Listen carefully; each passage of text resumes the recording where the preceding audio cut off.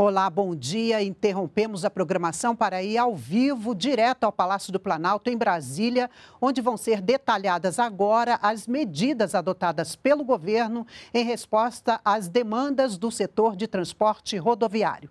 Vamos acompanhar. Ao longo eh, da campanha eleitoral, assumiu compromissos de dar eh, melhores condições de trabalho respeito e valorização dessa importante categoria.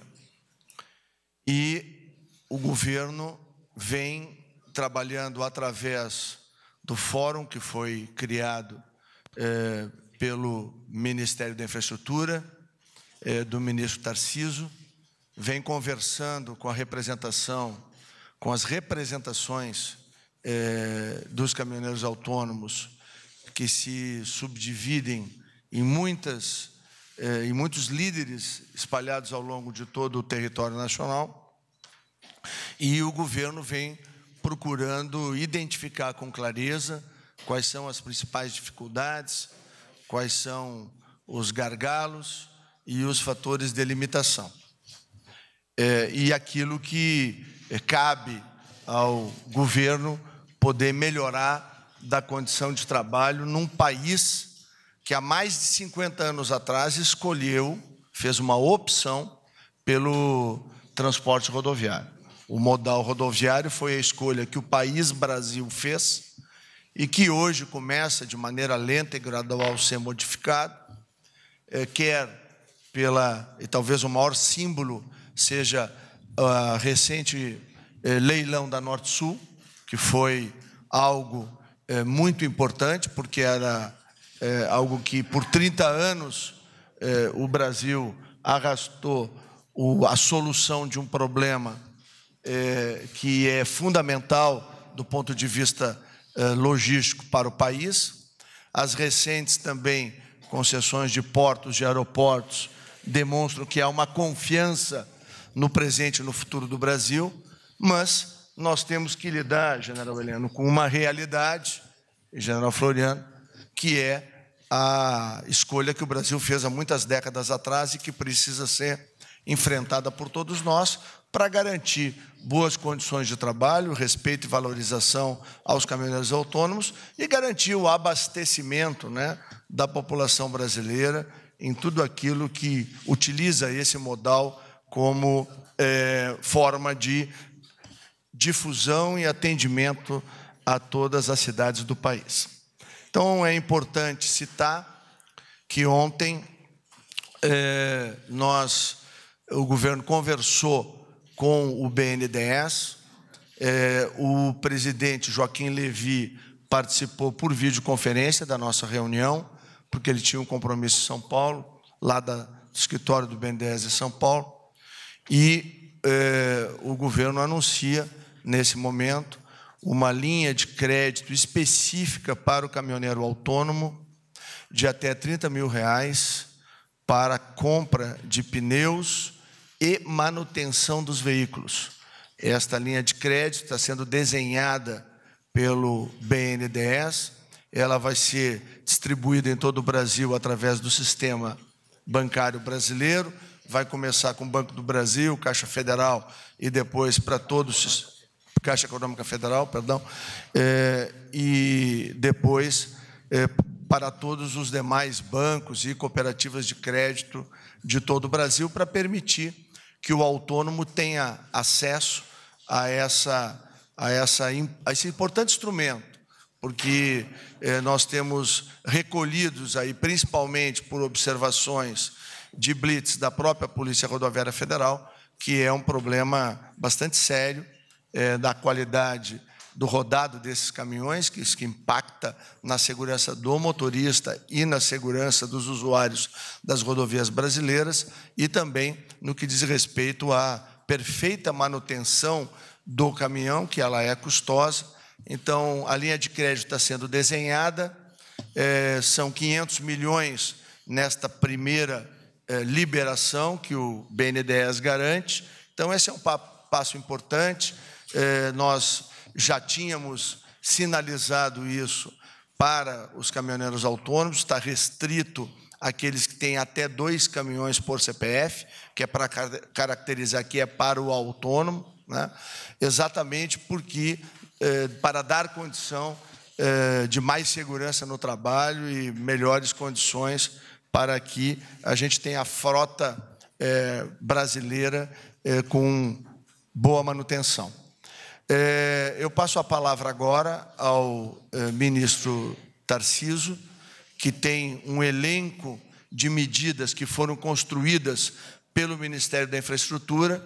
Inclusive, ele vai anunciar também questões muito importantes que foram derivadas da reunião de ontem de manhã da GEL, que é a Junta de Execução Orçamentária, onde há uma dotação importante para o Ministério da Infraestrutura que o ministro vai anunciar a partir de agora.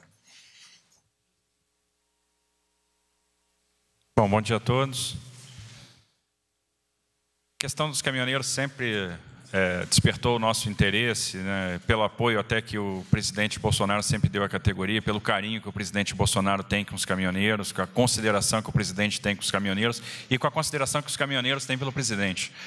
Então, desde a, nós procuramos estreitar o diálogo com a categoria desde a transição. E temos aí ouvido bastante a, a categoria, ouvido bastante os caminhoneiros e desenvolvemos um programa é, voltado para a categoria. Esse programa tem por objetivo melhorar as condições de vida e de trabalho dos caminhoneiros e da família do caminhoneiro, né, tentar aumentar a renda, porque observe, a discussão do, do, frete, a discussão da renda do caminhoneiro é uma discussão que todo mundo tem razão e a gente tem que buscar entender o que, que acontece no, no transporte rodoviário de carga. O embarcador diz: Olha, meu frete é caro, o custo do Brasil é alto, eu pago caro pelo frete. E o embarcador tem razão, o frete é caro realmente. E o caminhoneiro diz o seguinte: Olha, eu ganho pouco. E o caminhoneiro tem razão, ele ganha pouco mesmo. E aí vem a pergunta: se o embarcador paga caro e se o caminhoneiro ganha pouco, onde é que está ficando o dinheiro? E a gente procurou entender esse sistema, entender como é que funciona, para onde o caminhoneiro vai quando é, termina um determinado serviço de transporte, quem vai, como é que ele consegue ter acesso a uma nova carga. Então, isso nos despertou, nos chamou a atenção com uma série de problemas. A nossa ideia é aumentar a renda do caminhoneiro, né? eliminar os intermediários no processo fortalecer, aproximar a relação da categoria com o governo, com o setor, simplificar e facilitar as operações de transporte. Então, nós temos uma agenda de desburocratização, aprimorar a regulação e reduzir é, os intermediários no processo. E desenhamos, então, um programa que tem alguns pilares. O pilar da comunicação, que é fundamental. É, esse pilar está calcado na, no reestabelecimento do Fórum do Transporte Rodoviário de Carga. Esse fórum é um locus de tomada de decisão, é um locus permanente de diálogo. Então, a porta está aberta ao diálogo com a categoria, com os caminhoneiros. Eles têm encontrado os braços abertos, eles têm encontrado a receptividade do governo para atender as demandas. Então, nós estamos prontos para, para ouvir as demandas que são trazidas pela categoria. E a grande diferença agora é que o fórum tem método, nós temos um método de trabalho, ou seja, se as demandas são tratadas, são, é, é, é, é, nós temos um direcionamento de solução técnico, conversado com todos os envolvidos no transporte para tentar endereçar as questões. É, só para se ter uma ideia, nós recepcionamos uma série de demandas, hierarquizamos essas demandas, e as demandas estão relacionadas às questões como piso mínimo, é, os pontos de parada e descanso, transporte de produtos perigosos, fiscalização, principalmente do piso, infrações que preocupam aí a questão dos caminhoneiros, aqueles que são profissionais do volante, né, que podem perder suas carteiras, marco regulatório do transporte rodoviário de carga, agenda multimodal, renovação de frota e, ou recuperação de frota, por isso essa ação de fomento tão importante, aposentadoria, cooperativismo, condições de rodovias, preço do diesel e segurança. É, nós temos uma agenda de regulação e principal, o principal esforço na regulação é construir uma referência de piso que seja aceita por todos, que seja técnica, que nós estamos colocando em consulta pública e vamos discutir com todos envolvidos, com embarcadores e com é, transportadores.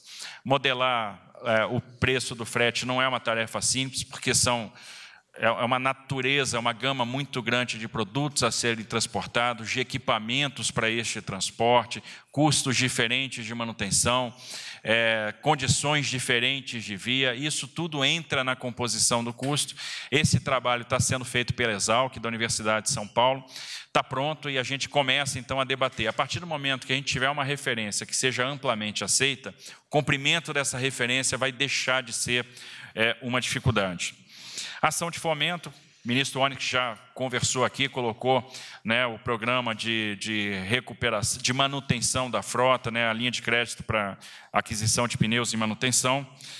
É, nós temos as iniciativas de cooperativismo, então nós estamos fomentando cooperativas. A ideia da cooperativa é trazer o benefício da pessoa jurídica para é, o autônomo, né, para que ele tenha os benefícios tributários e, sobretudo, para que ele se beneficie é, do fato de ter um CNPJ, seja na contratação do seguro, seja na questão da compra coletiva, seja na questão do link direto com o embarcador. Qual é o grande desafio nosso hoje? Dar trabalho. Nós temos que dar trabalho para o autônomo.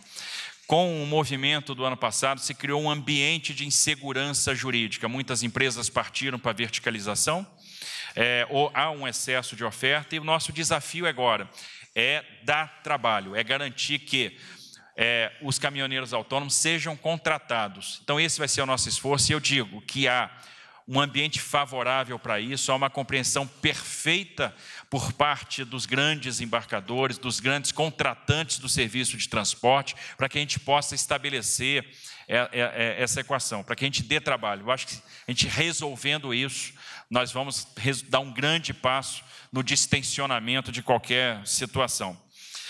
Muito importante, o ministro Onyx citou aqui a, aquilo que nós avançamos ontem na junta de execução orçamentária. É, tivemos uma recomposição do orçamento do Ministério da Infraestrutura e essa recomposição vai atacar dois pontos: conclusão de obras importantes e manutenção é, das rodovias fundamental a gente trabalhar com a manutenção de rodovias, porque a manutenção de rodovias salva vidas. É importante dar uma condição de via melhor para aquele profissional do volante poder trabalhar e concluir obras que são emblemáticas.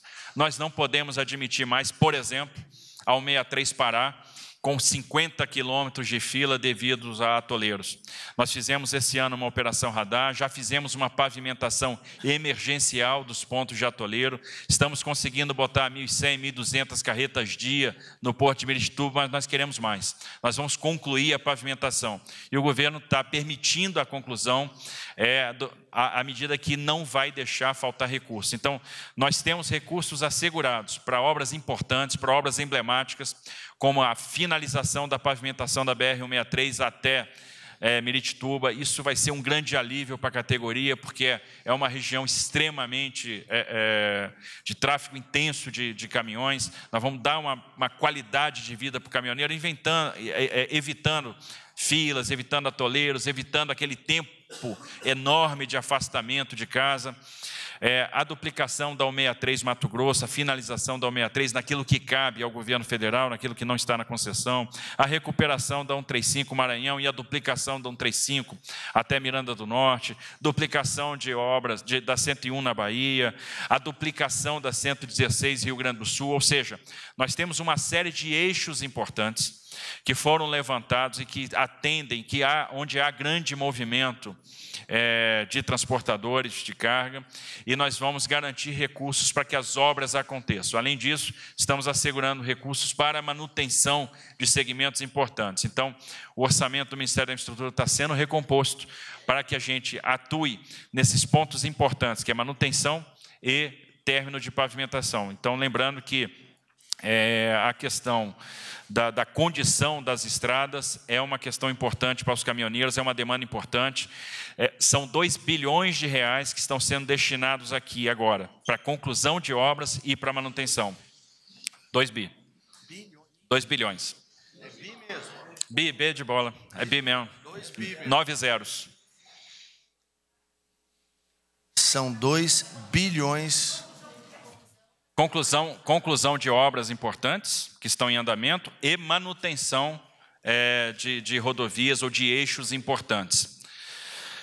É, um ponto que tem nos chamado a atenção é a falta de qualidade de paradas, de postos de parada. Né? Então, o caminhoneiro não tem onde tomar banho, não tem segurança para dormir. Isso faz com que ele acabe é, se aventurando à noite, horas e horas, por não ter onde parar, por não ter como descansar, por, por não ter segurança. Então, nós vamos trazer os postos de parada. E uma maneira de fomentar inicialmente esses postos de parada é tornar obrigatório esse posto de parada nas rodovias concedidas. Então, tem dois movimentos. Primeiro, nas novas modelagens de concessão que nós vamos soltar a partir de agora, e serão muitas, é, nós vamos prever esses postos de parada obrigatórios. Então, um local, uma área cercada, com segurança, própria para descanso, onde a gente tenha suporte de vida, onde o caminhoneiro possa tomar banho, possa descansar, possa preparar sua refeição, possa ter uma assistência é, técnica, eventualmente, para fazer uma manutenção, um reparo é, de emergência no seu equipamento, no seu caminhão. E também incluir isso nas concessões existentes. Então, a ideia é atuar no suporte. Como eu falei, nós estamos dialogando muito com a categoria e uma coisa que vale a pena ressaltar nós estamos dialogando também com a família, com os familiares da categoria. Então, temos tido a oportunidade de, com alguma frequência, nos reunirmos, por exemplo, com as esposas dos caminhoneiros, que sentem o afastamento do marido, sentem as necessidades do marido que está na estrada. Então, para a gente tentar atender da melhor forma possível é, esse trabalhador. É, nós temos uma, algumas medidas, por exemplo, do ponto de vista da desburocratização, e uma começa a entrar em vigor agora este mês. Na verdade, estamos fazendo um experimento no, no mês de abril no estado do Espírito Santo, que é o documento eletrônico de transporte. O documento eletrônico de transporte ele vai congregar uma série de documentos num, num, num, num, documento único.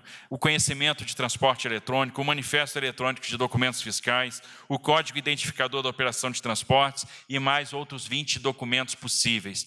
Qual é a ideia? Desburocratizar, tornar a vida do caminhoneiro mais fácil. Essa desburocratização, essa simplificação elimina um intermediário. Porque muitas vezes o caminhoneiro, para iniciar o seu transporte, precisa procurar o despachante e aí é custo. Cada intermediário que a gente agrega no processo é uma parte da renda que se perde. Então a ideia é eliminar esses despachantes com tecnologia da informação. A tecnologia da informação vai nos ajudar também a linkar caminhoneiro ao embarcador. Como eu falei, um dos grandes objetivos nossos neste momento é estabelecer o diálogo de embarcadores e caminhoneiros para proporcionar o trabalho, para combater é, esse excesso de oferta que existe, que com certeza é, esse problema vai diminuindo ao longo do tempo com o crescimento econômico que certamente virá. Então, essa iniciativa de desburocratização é importante. É, quando a gente fala na mudança nas regras da, da, CNH, isso tem muito a ver com demandas dos caminhoneiros também. Então, por exemplo, a, a renovação de carteira a cada 10 anos ao invés de a cada 5 anos. Finalidade disso é diminuir custo, é tornar a vida também uh, do caminhoneiro mais fácil, mais barata. Não há razão orgânica e até em função do aumento da expectativa de vida, para a gente fazer exames a cada cinco anos. Então, até determinada idade, que é 50 anos, a gente faz, vai começar a fazer as prorrogações de carteiras, as renovações a cada 10 anos. É, existem algumas iniciativas que estão sendo tomadas em parceria com o SESC Senat, no que diz respeito ao apoio estruturado de caminhoneiros e familiares, principalmente no que diz respeito à questão saúde. Então, nós temos um calendário de eventos com uma série de municípios, e aí posso citar alguns, Candeias, Feira de Santana, Conceição do Jacuípe, Eunápolis, Brasília, Palmas, Rio Verde, Anápolis, enfim, um cronograma enorme de, com vários municípios do Brasil, aonde os caminhoneiros vão receber é, assistência médica, odontológica do CERT Senat. Então, tudo que pode ser feito aí para melhorar a qualidade de vida do transportador está sendo feito. É importante ressaltar, então, a questão do diálogo. E eu acho que tem outra medida importante que o caminhoneiro vai começar a perceber, que é o cartão combustível, que virá está é, tá sendo estudado e vai ser disponibilizado em breve pela Petrobras, que vai garantir. Nós teríamos duas formas de garantir o valor do frete. Uma seria indexar o frete ao aumento do diesel, a outra é o cartão caminhoneiro, onde ele faz, ele tem um crédito, né, onde ele vai garantir o preço do diesel naquele frete, ou seja, dá previsibilidade, isso vai evitar, vai mitigar o impacto de ele iniciar um transporte e de repente ter um aumento do diesel, ele ser surpreendido e ter parte da renda consumida. Então ele vai poder comprar, é, é, ter, vai ter um crédito naquele cartão para ele fazer é, o transporte naquele preço da largada, aquele preço de contratação. Então são medidas importantes. É, então, nós estamos tentando pegar praticamente todo o espectro de demandas dos caminhoneiros no que diz respeito ao piso mínimo. Então, nós estamos estabelecendo uma referência que vai ser aceita, que vai ser técnica, discutida com todos os setores e que vai ser fiscalizada, sobretudo. Né? É, os postos de parada que vão passar a integrar as rodovias federais, né? num primeiro momento nas rodovias concedidas, tanto as existentes quanto as novas. É a questão da, da, da desburocratização, do documento de transporte eletrônico, é o recurso, esses 2 bilhões usados é, na melhoria das condições das estradas, na melhoria da condição de manutenção, é o estímulo ao cooperativismo, o estímulo à compra coletiva, o estímulo é, à, à, à, à união, ao link direto é, embarcador-transportador, é, a conversa, o diálogo com embarcadores para garantir a oferta de emprego, a garantir os fretes para os transportadores autônomos, é, enfim, é a questão do fomento, né, como o ministro antes colocou aqui, da linha de crédito para manutenção. Então, há uma preocupação, há um carinho do governo federal com a categoria dos transportadores, que é tão importante para a economia do Brasil e que eu tenho certeza é, não há como nós não construirmos soluções positivas na base do diálogo. Esse governo é um governo que dialoga, é um governo que está aberto para receber proposições, para construir coletivamente, para construir em conjunto saídas para o problema. E se a gente constrói as saídas em conjunto, não tem como dar errado. Vamos dar início às perguntas. A primeira jornalista a perguntar é da Bloomberg, Raquel Gamar. São 11 horas e 42 minutos. Nós acompanhamos ao vivo a entrevista coletiva no Palácio do Planalto, em Brasília, onde foram detalhadas as novas medidas adotadas pelo governo em resposta às demandas do setor de transporte rodoviário. Foi anunciada a liberação de 2 bilhões de reais para a manutenção de estradas e também uma linha de crédito de 500 milhões de reais do BNDES para caminhoneiros autônomos. Você pode continuar assistindo a essa entrevista coletiva nas nossas redes sociais. Fique agora com a TV Brasil Animada. Até mais.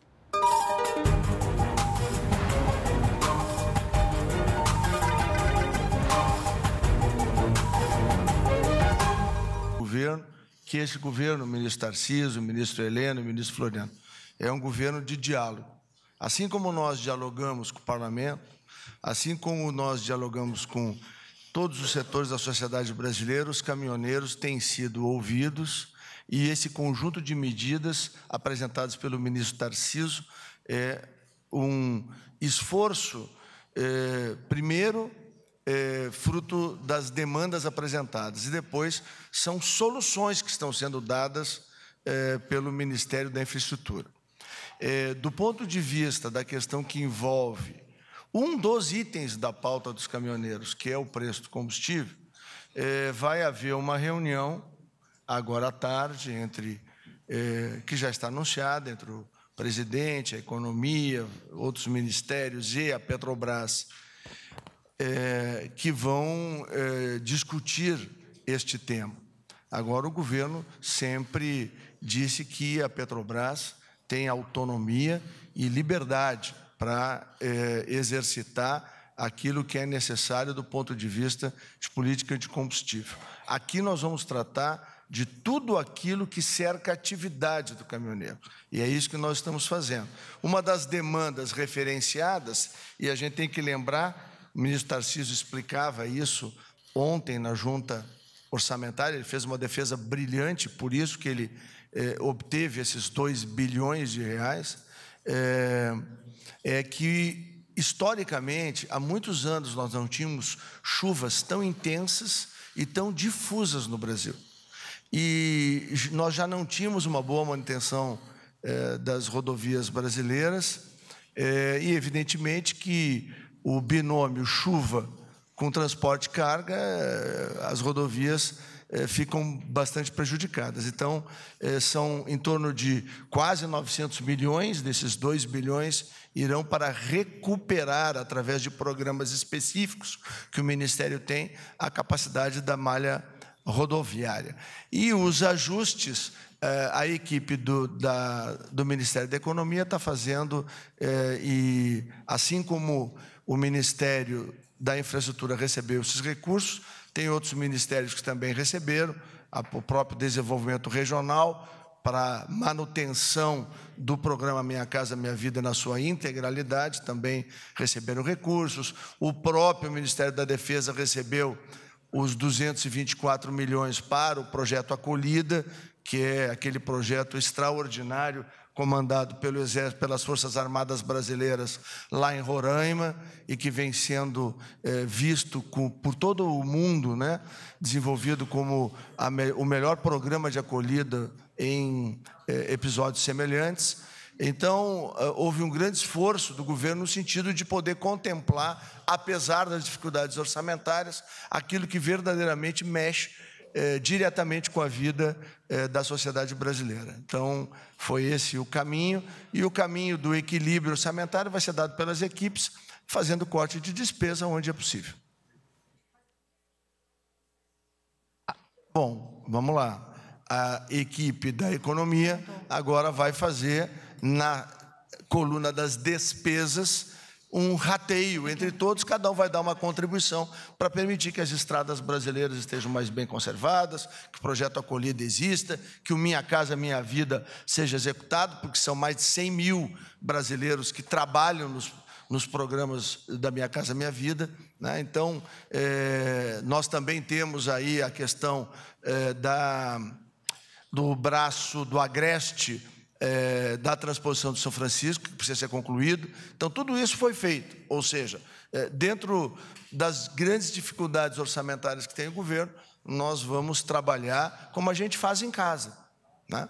Economiza o máximo para garantir o mínimo indispensável. É isso que a gente fez.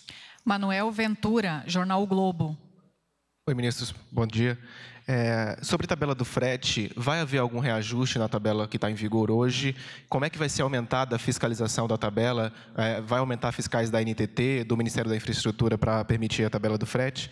E sobre a 163, não é a primeira vez que o governo federal promete concluir a 163 até Meritituba. O que garante que dessa vez vai ser concluída a 163? Por que, que ela vai ser concluída dessa vez finalmente? É, e o, o senhor está falando que, que não sabe, não tem ainda definição de que ministério vai perder o dinheiro, vai perder dinheiro e orçamento por conta da, do aumento do dinheiro para o Ministério da Infraestrutura. Não há essa definição ainda? Obrigado. Bom, vou, vou, no que me cabe, te respondo a tua última pergunta, depois o especialista é o ministro Tarciso aqui entre nós. É, nós vamos, vamos fazer um rateio aonde eh, os outros ministérios, cada um vai dar sua cota de contribuição. É simples e objetivo assim. É, vamos lá. Quem é que recebeu os recursos em maior volume? Infraestrutura, é, Ministério do Desenvolvimento Regional, Ministério da Defesa.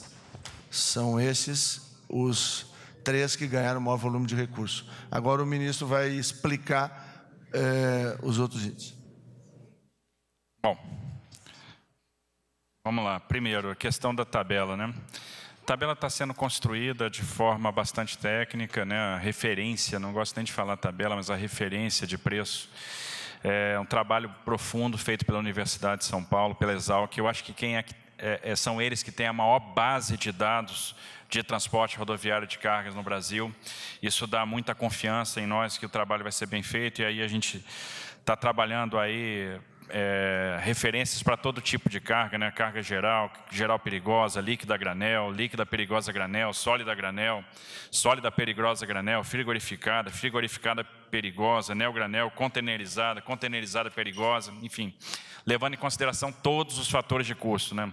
Custo de depreciação do caminhão-trator, do implemento rodoviário, remuneração do capital, é, remuneração do implemento, mão de obra do motorista, tributos, taxas, é, seguros, riscos, é, custo adicional para cargas perigosas e o custo dos combustíveis.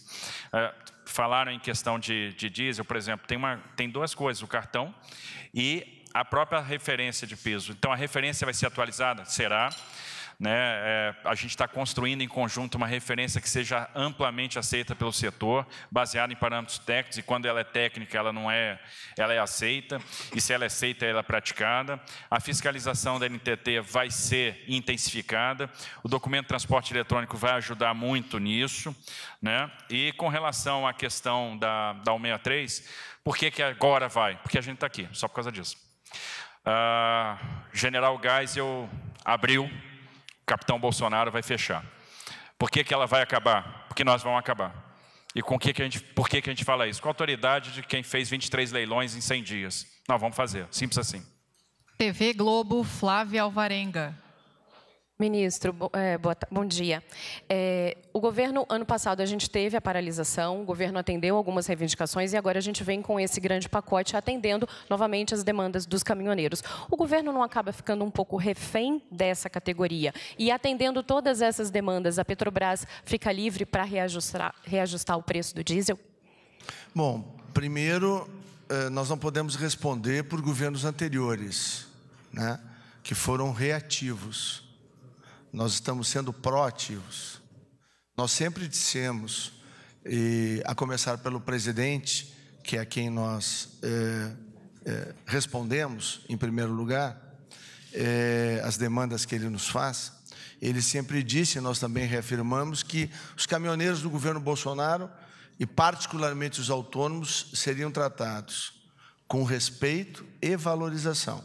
Acho que tudo que eh, nós estamos apresentando é exatamente isso. Eu acho que esse longo elenco de informações que foram recolhidas pelo ministro Tarciso e o esforço eh, de atendimento a, a esse conjunto de ações que vão desde a recuperação das estradas, passando por uma eh, inédita linha de crédito para manutenção e aquisição de pneus, é, que é fundamental para a segurança nas rodovias. Né? Todos os finais de semana, lamentavelmente, no Brasil nós temos um histórico de acidentes e que, em boa parte, envolvem caminhões. Então, é muito importante a gente ter rodovia bem é, pavimentada, bem sinalizada. Aí, está o trabalho extraordinário feito lá pelo Ministério da Infraestrutura. É, nós vamos ter os caminhões de rodado novo, nós vamos ter o caminhoneiro com condição de fazer a manutenção preventiva do seu veículo, que é tão importante, principalmente a questão de suspensão e freio, que é vital, que às vezes é a diferença entre a vida e a morte. Né? É, nós estamos trabalhando é, para, quem sabe, construir é, é já imediatamente com o cartão caminhoneiro, dar estabilidade no, num dos itens da pauta deles, que é o preço do diesel, é, é, outros países já resolveram, por exemplo, a indexação do preço do diesel no frete. É, é, esse documento único que está sendo construído pelo Ministério da Infraestrutura vai permitir isso no futuro. Os Estados Unidos resolveram, e o Canadá, esse problema há mais de 50 anos, fazendo isso, quando sai do Estado, o valor do diesel é do dia, quando tu chega no destino, se houver alteração, ele é remunerado. Nós estamos construindo as formas para que isso também possa ocorrer no Brasil. É, o atendimento, a preocupação com as famílias é, dos caminhoneiros. Nós criamos uma legislação no Brasil, não foi esse governo, foi criado ainda no governo anterior, que exige que após uma determinada jornada de trabalho ele tem que obrigatoriamente parar. E para onde? Esse é o ponto. Eles são assaltados, eles são muitas vezes agredidos eles são despojados, inclusive, do seu alimento. Então, nós então vamos já, o ministro acabou de dizer, fazer nas rodovias concessionadas atuais, vai ser feita alteração contratual para que elas é, coloquem os postos de paradas nas novas concessões, isso vai ser feito, ou seja, é um esforço dentro desse binômio, que é respeito e valorização. Quanto à questão combustível, será tarde, a partir da conversa do presidente com o Ministério da Economia, com o Ministério de Minas e Energia e com a Petrobras. E a questão combustíveis, ela está diante de uma outra área de ação que não é a área do ministro, do ministro Tarciso, nem do ministro Floriano, nem do ministro Heleno. Nos cabia, enquanto governo, buscar esse conjunto de medidas que fazem parte da pauta. Eles trouxeram esta pauta no governo anterior, mas quem está eh, eh, apresentando soluções é o governo Bolsonaro por conta desse respeito e da valorização comprometida. Ministro Tarcísio aqui complementando. Só complementando, é, eu acho que não, não se trata de, de ficar refém, absolutamente. Observe, o que, que eles estão pedindo? É tão pouco. Eles querem condição de estrada boa, a gente tem que prover isso. A gente tem que prover manutenção. Eles querem poder descansar num lugar onde eles tenham segurança. A gente pode prover isso em rodovias concedidas com alguma facilidade? Pode. Então, o que, que custa atender esse pleito? É vontade. Então, a gente tem essa vontade. É, a, o cooperativismo. Então, é, é, é, é, uma coisa muito natural, muito importante para que a gente garanta uma condição de trabalho onde ele possa competir com a empresa de transporte, onde ele possa contratar o seguro, onde ele possa fazer uma compra coletiva e ganhar, ter, ter uma sobra de dinheiro. Não tem nada que seja é, absurdo, são pleitos extremamente justos e, detalhe, construídos na base do diálogo sem chantagem, sem nada disso. Então, assim, eu acho que a gente fica absolutamente tranquilo e feliz de dar esses passos.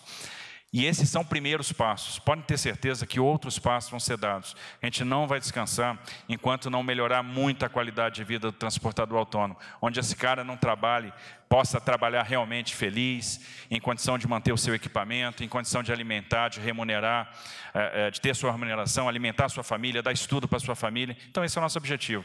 Esses caras movimentam a riqueza do Brasil. É justo que a gente trabalhe por eles também.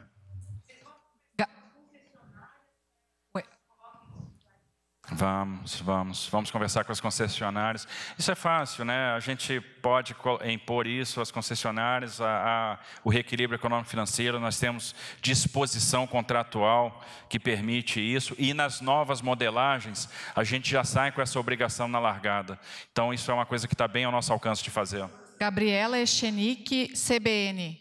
Não, a gente altera o contrato e reequilibra o contrato, mas isso é uma alteração muito simples, muito barata de fazer. Bom dia, ministros. É, eu não sei se eu perdi a hora que o Tarcísio fala do como é que vai ser o cumprimento da tabela do frete, pelo menos enquanto não reajusta de acordo com o que vocês vão fazer. Eu queria saber como vai ser esse cumprimento até lá. E, além disso, os caminhoneiros dizem que só o cumprimento da tabela do frete, que até hoje não é feito corretamente, segundo eles, é, eles pedem muito o cumprimento da chamada lei do descanso, porque eles não conseguem cumprir exatamente as horas que são determinadas e apenas um posto tem essa essa fiscalização mais rigorosa e isso talvez diminuiria a oferta a longo prazo, como o senhor falou dessa questão da oferta e da demanda. Vai haver um cumprimento dessa lei do descanso, vai ter posto que vai fazer esse tipo de regulamentação, fiscalização mais firme. E só uma dúvida, do BNDES são 500 milhões nessa primeira leva, há uma previsão de uma nova leva depois ou vai ter que ser conversado para conseguir esse dinheiro? Vamos começar por mim, depois o Tarcísio com a parte técnica. O BNDES abriu essa linha de crédito, vamos ver como ela vai evoluir, qual é que vai ser o, o tamanho médio, ele pode ir até 30 mil reais, né? É, vamos ver como é que vai se comportar, como vai ser a demanda e como é que nós vamos eh, esse, vamos dizer, essa primeira experiência será aí pelos primeiros seis, sete, oito meses. Vamos ver como é que vai ser. Se precisar ampliar, o BNDES tem eh, condição de fazer essa ampliação. Bom, com relação às outras questões, eu acho que a gente vai. É, nós já estamos aumentando a fiscalização da, do cumprimento do piso, vai levar a aumentar ainda mais. Eu acho que a questão da lei do descanso, a gente tem que também atuar na provisão da infraestrutura para que haja o descanso. Ah, o que ocorre é que tem que haver o descanso, mas aonde é que ele vai parar? Ele não tem segurança, ele não tem um local de parada adequado, muitas vezes o local não permite que ele tome um banho, e aí ele é quase que impelido a seguir numa jornada quase suicida para tentar chegar ao seu destino o mais rápido possível. Então, o que nos cabe? Tentar trazer a infraestrutura para que ele tenha realmente um local onde ele possa repousar, repor energia, se alimentar, é, recuperar o seu equipamento com segurança, que a segurança é uma questão fundamental e é por isso que nós vamos tentar dar os primeiros passos no sentido de, de transformar essa questão da parada e fazer com que é, nós tenhamos a infraestrutura que permita o descanso e, obviamente, é uma primeira iniciativa de muitas que virão. Eu acho que o próprio primeiro passo do governo vai estimular outros pontos em outras rodovias a também criarem esses espaços, a criar uma espécie de competição pelos locais de parada, porque de certa forma isso também é, vai gerar uma receita. Né? Então eu tenho certeza que a gente vai melhorar também esse aspecto da prestação de serviço. Última pergunta, Talita Fernandes, da Folha de São Paulo.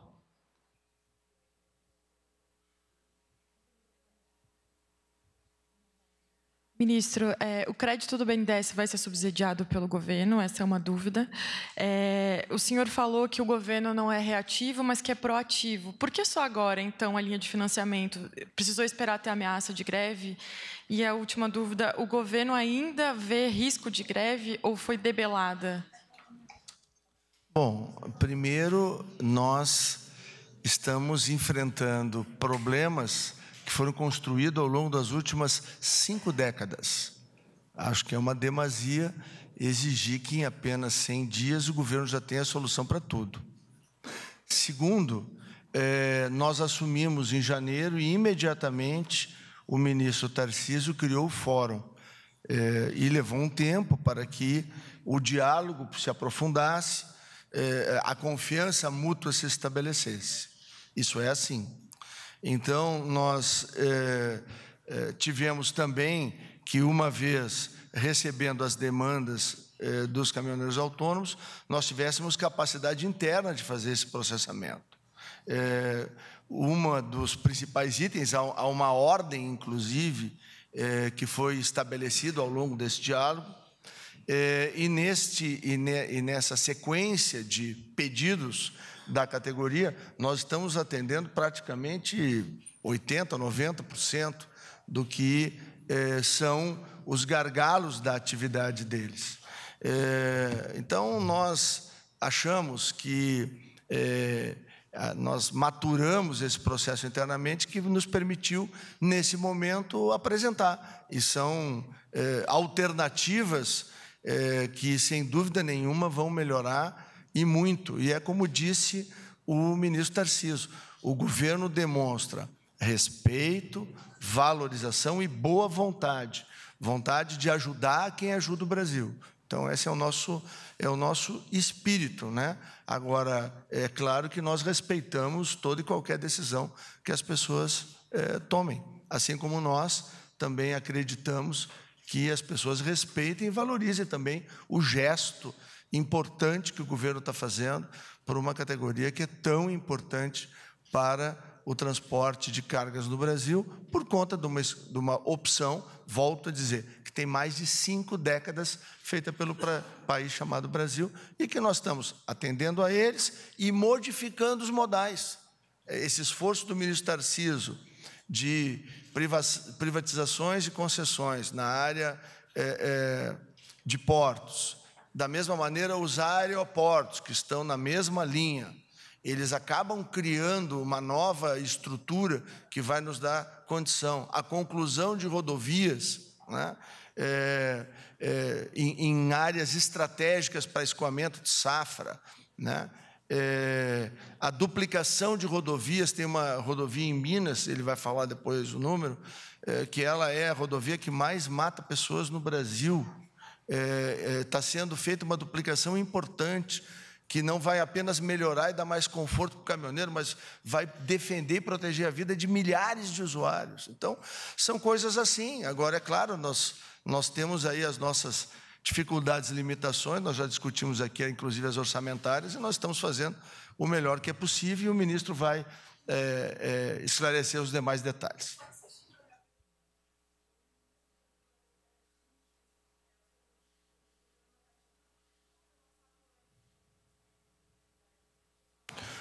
Exatamente, porque precisávamos construir Ou seja, a ideia nasceu, é, vinda da demanda de que eles têm dificuldade de comprar pneu porque é caro, fazer a manutenção porque é cara, porque o atravessador come o frete do, do caminhoneiro autônomo. Então eles têm dificuldades. Bom, como é que nós vamos fazer? É só na fiscalização? Não, precisa criar uma fórmula para que eles, dentro das dificuldades de trabalho que a categoria tem, ela possa contratar um mecânico para arrumar o freio, para ajustar a suspensão, ele possa, quem sabe, recapar algum pneu, troca alguns, recapa outros, ou seja, é, é, é, nós estamos, nós demoramos, e, e vamos lá, é, demoramos é, três meses, né? É, quando por cinco décadas não teve nada parecido. Então, só para a gente ter um pequeno, uma pequena comparação. E fizemos isso exatamente para atender uma demanda que é importante. Só, só só para entender uma coisa que eu acho que é importante. As coisas estão sendo feitas com método, né? com diálogo. É, e elas são estruturadas. Então, é, existe um processo de trabalho. Como é que funciona o fórum? A gente recepciona as demandas, estrutura as demandas, tabula essas demandas, encaixa em eixos de programa, em eixos temáticos, trata essas demandas em grupos de trabalho, delibera no fórum e encaminha uma proposta de solução. Então, tem um processo de tomada de decisão que é coletivo. Então, ah, por que não foi tomado antes? Eu acho que a gente está tomando no tempo oportuno.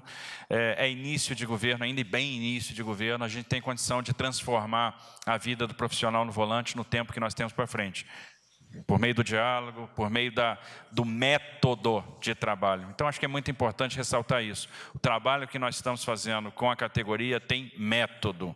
Então, não é um trabalho de orelhada, não tem chute, é um trabalho de recepção da demanda, ver o que está ao nosso alcance fazer, negociando com ele, tomando decisão.